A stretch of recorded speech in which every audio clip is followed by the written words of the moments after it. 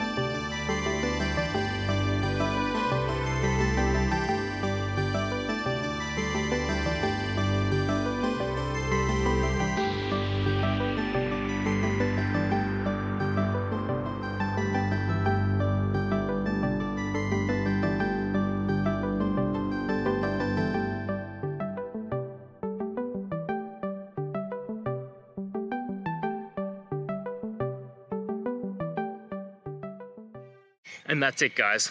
I hope that video helped find the resolution you're looking for. If it did, please I'd appreciate it if you could hit subscribe. Until the next time you need more technical help, I hope you have a good one.